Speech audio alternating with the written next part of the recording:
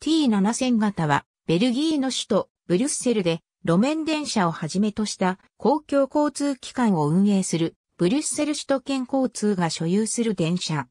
アメリカ合衆国で開発された高性能の路面電車車両である PCC カーの技術を用いた車両である。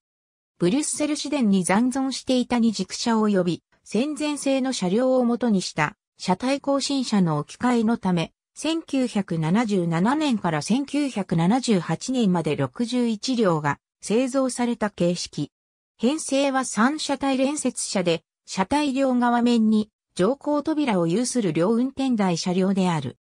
2車体連接車の T7700 系、T7800 型をもとに設計が行われたが、ガラスや全消灯など、全面デザインが変更されたほか、内装も快適性が向上する、よう座席配置が変更された。主要機器は、アメリカ合衆国で開発された PCC カーの技術が用いられており、T7900 型は1951年に製造が開始された T7000 型から始まったブリュッセルの PCC カー最後の形式となった。